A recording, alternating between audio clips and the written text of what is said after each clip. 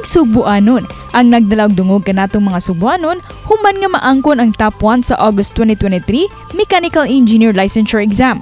Siya si Roy Christian Oro, usa ka tinunan sa CITU.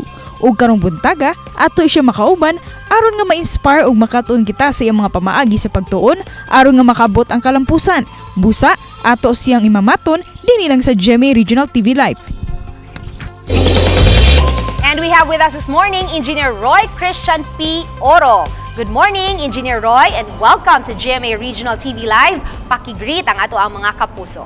Oh, good morning. Thank you sa ninyo tanan na minaw karon. And it's a pleasure to be here. Kumusta man, Engineer Roy? Ni-sink in na ba sa imuhang, imuhang kalampusan, kining imuhang pag-top 1 sa exam?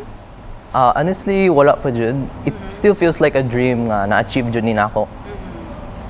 Pero ang pangutana, unsa imo mga rituals or imo mga pagpangandam nga gihimo So, niining exam? I I always believed in the power of prayers jud. Maong pag board exam na, nangampo mi sa simala and also manimba mi like a week before sa board exam. But during the exam, unsa imong feeling? Murag feel ba nimo nga sayon ra makuha ni nako matap 1 jud ko ani? Unsa unsa unsa may imong expectations ato? So sa pag-exam kay ma maihap man jud nimo ang mga questions nga murag confident ka ba nga masakto ka. So mura ko ga-expect nga mat, mo top ko pero not to this extent nga ma number one. So mong surreal jud siya para nako jud nga achievement. Mm, okay. When you were still young, unsa man achiever na bagyog ka sukad pag yun sa una? Yes, uh, pagkabata jud na ako like ma mo-attend jud ko ka ng mga lahi-lahi nga mga competition, not just sa academics. Kay I've always believed in the concept of holistic development jud. Pero how do you describe your student life? Okay, so before? uh, in, in my student life, uh, as I said earlier, like di lang ko focus sa akong pag, pag studies lang sa academics. Nag-join-join sa akong mga daghang nga competition. I've joined sa among Boy Scout of the Philippines, napoy katong sa debate club, robotics club, and also sa mga kuan among honor society within CIT University. We also want to know na abasag kay mga naagian nga mga hindrances sa imong kinabuhi as a student.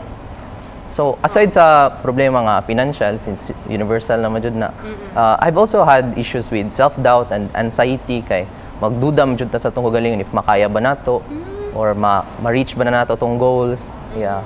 Despite sa imong pagka-achiever, na Yeah. gihapon kay inana nga feeling. Na jud Ah, okay. So unsay tips nga imong ihatag ngadto sa ato mga kapuso nga gusto mo pasar like you? Okay, so practical nga tips akong mahatag ninyo is maghimo jud mo og flashcard sa tanan mga concepts, formulas nga na, nga inyong nagian sa inyong review. And at the same time kung naay mga questions nga lisod jud I suggest nga inyong picturean para ma-review ninyo balik like a few days or a few weeks before sa board exam. And if possible every day jud mo mag-review sa flashcards like before matug or ining mata ninyo. And just study religiously lang jud. Kini ako din ni pangutana back to when you first found out nga nag top 1 ka kay ngon ka wa pa ni singkin. Unsa imong feeling ato or unsa imong gibuhat dayon apan learning nga ikaw ang nag top 1? So pagkaibaw dyan ako nga na, na top 1 ko kay nidagan dyan diretso sa ako mama niya. Ako dyan ang unang gignan niya, ma, ma, ma, top 1 ko ma. Like, as in like, after to naabot na sa among kuan, mga silingan sa among igagaw, sa side sa akong papa, sa side sa akong mama. So, yeah, ako dyan ang gipanabi dyan. Okay, and finally, unsay imuhang mensahe ngadto sa ato ang mga viewers?